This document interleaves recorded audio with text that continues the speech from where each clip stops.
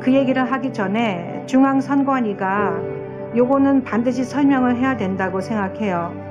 왜냐면은 정상이라는 것은 K값이 1이 나와야 되거든요.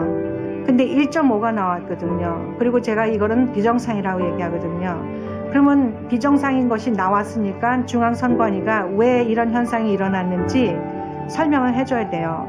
가장 확실한 해법은 투표소에서 투표가 끝난 즉시 바로 그 자리에서 수개표를 하는 겁니다. 만약 그렇게 절차를 바꾸는데 시간이 걸린다. 지금 현재 조건에서도 이 문제를 상당 정도 해결할 수 있는 방법이 있어요.